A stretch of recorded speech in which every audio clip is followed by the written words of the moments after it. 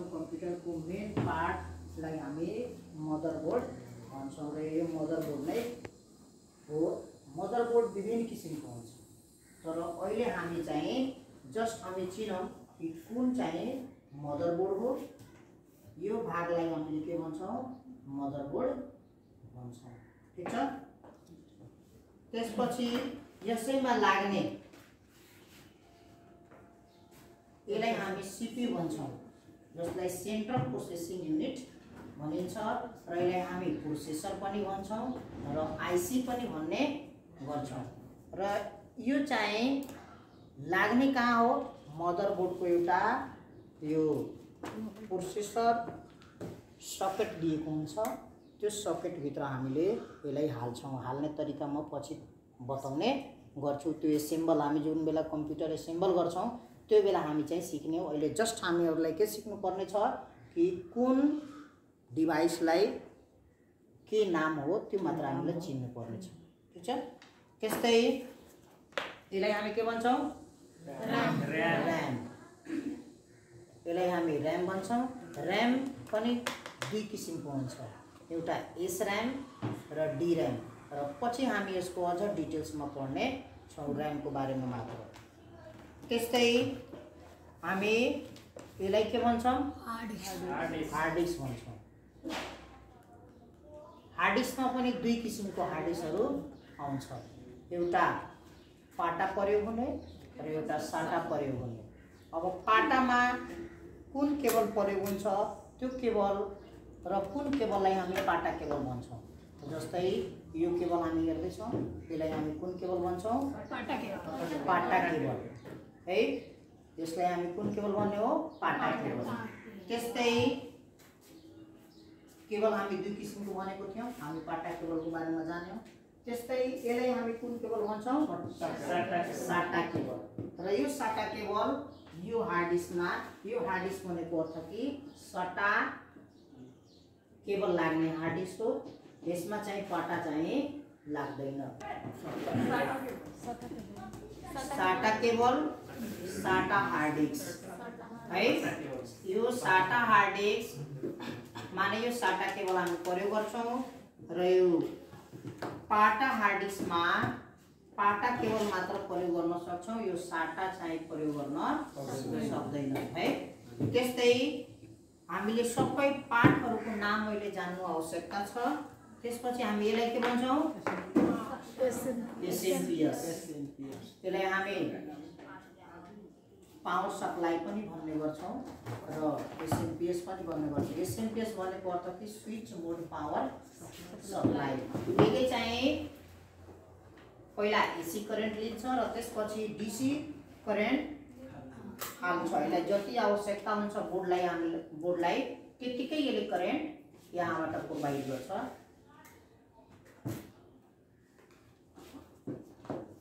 त्यसपछि त्यस्तै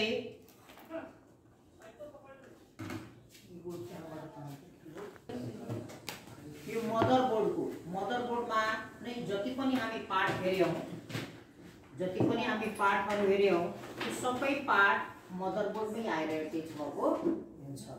र त्यो पार्टहरू कहाँ कहाँ एटेच भएको हुन्छ हामीले अब त्यसको बारेमा सिक्छौँ है। जस्तै योभन्दा अगाडि मैले भने थियो यसलाई हामी के भन्छौँ सिपियु सकेट सकेट भन्छौँ अथवा प्रोसेसर भन्छौँ प्रोसेसर सकेट है? यो प्रोसेसर सकेट हामी यहाँ यो प्रोसेसरलाई हामी यसमा इन्स्टल गर्छौँ। जस्तै यहाँ दुईवटा यो प्रोसेसरमा दुईवटा खच्चा भएको यहाँ देखाइरहेको छ यो खाँचा भएकोलाई हामी यसमा पनि हेर्ने कि कतातिर छ यो सकेटमा दुईवटा खच्चा कहाँ छ त्यो चाहिँ त्यतातिर हामी गरेर हाल्ने जस्तै यहाँ दिएको छ यो साइडमा। यो साइडमा के गर्ने? यसरी चाहिँ यो साइडमा भएको यसरी हाल्ने। र हालिसकेपछि यसलाई यो कभरले ढाक्ने।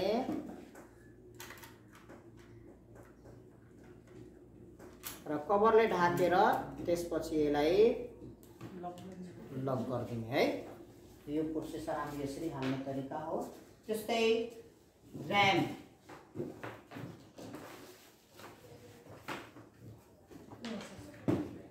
ऱ्याम। यो ऱ्याममा पनि दिएको छ एउटा खचा ठिक छ? त यो चाहिँ एउटा सानो भाग छ र एउटा ठुलो भाग छ। यसमा पनि त्यस्तै दिएको हुन्छ यो स्लटमा। यो स्लटमा चाहिँ त्यस्तै एउटा सानो भाग र एउटा ठुलो भाग दिएको छ। अब हामी यकिन गर्ने कि कता सानो छ र कता ठुलो छ। त्यतातिर पार्ने नत्र भने जता ठुलो छ त्यता सानो गरिदियो त्यता सानो छ त्यता ठुलो गरिदियो भने फेरि अप्ठ्यारो हुन्छ लाग्दैन। र जबरजस्ती हामी गऱ्यौँ भने यो बिग्रिन पनि सक्छ। त्यसैले पहिला हामी यकिन गर्ने सानो कता छ र ठुलो कता छ? यसमा हेऱ्यौँ सानो तलतिर छ माथि ठुलोतिर छ। यो सानो यसरी गर्ने र हामीले यो बलमा छिराउने र यसलाई हल्का प्रेस सेन्टरमा राखेर थिच्ने आफै त्यो भित्र जान्छ। त यो ऱ्याम यसमा इन्स्टल भयो हामी बुझ्छौँ। त्यस्तै यो यसलाई हामी के भन्छौँ? सिमोस ब्याट्री भन्छौँ। CMOS battery. यसले के गर्छ? सिस्टमलाई चलाइराखेको चलाइरहन्छ। जस्तै हामी कम्प्युटर बन्द गरेर आफ्नो घरतिर लाग्छौँ। र अर्को दिन हामी फेरि चलाउन आउँछौँ त सिस्टमको टाइम चाहिँ चेन्ज भएको हुँदैन। सिस्टमको टाइम चाहिँ चेन्ज भएको हुँदैन बिग्रिएको हुँदैन। यो यही कारणले गर्दा यो सिमोसको कारणले गर्दा नै चेन्ज हुँदैन। सिमोस ब्याट्री भएको कारणले गर्दा नै चेन्ज हुँदैन नत्र भने चेन्ज भइरहन्छ।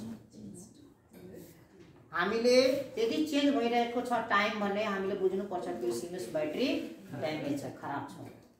र फेरि हामी सिमोस ब्याट्री मार्केटबाट किन्छौँ र त्यसपछि हामी यसमा हाल्छौँ र हालिसकेपछि अब यो चाहिँ यो बोर्डलाई चलाइराखेको हुन्छ।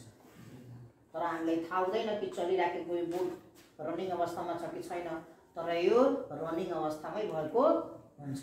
र जुन बेला पनि हामी यसलाई इन्स्टल गर्छौँ सबै पार्टहरू एसेम्बल गरिदिन्छौँ। त्यसपछि हामी रन गऱ्यो भने सिस्टम टाइम एकदम ओके नै देखाइराखेको हुन्छ।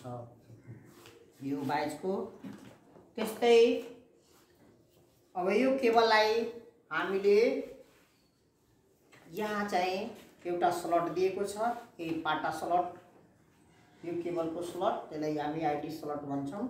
यहाँ चाहिँ हामीले यसरी यतातिर पनि दिएको छ भाग होइन? त्यसपछि यसमा पनि दिएको छ त्यस्तै खाँचा भएको र हामीले खाँचा हेर्ने गरी यतातिर हामी हाल्छौँ र यसरी चाहिँ हामी दिएको है त्यो मिस्टेक भयो यो यो छ यो स्लट यो स्लट हामी यतातिर हाल्छौँ है।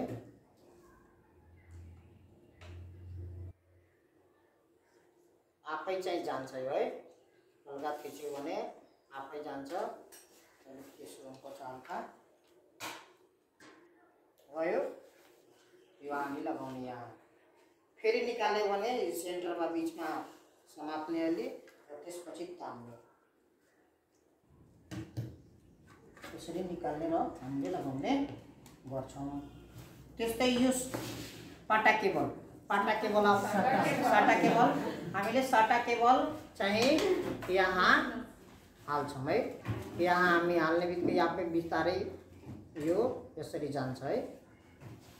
अर्कोतिरबाट भयो भने जो प्रेस लगाए पनि जाँदैन र यो पऱ्यो भने जान सक्छ। पलमा भयो। त्यो यसरी लगाउने हो। र यसैलाई हामी हार्ड डिस्कमा जोड्नु पऱ्यो भने यसरी हार्ड डिस्कमा पनि यहाँ अब साटा हार्ड डिस्कमा हामी फेरि यसरी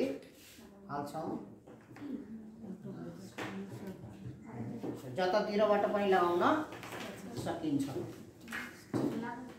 त्यस्तै यो हार्ड डिस्कलाई पनि हामीले यसमा यसरी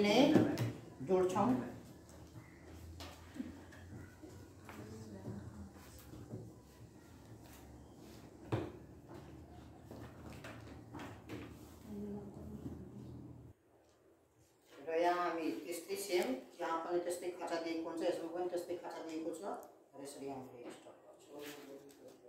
खाँचा ठिक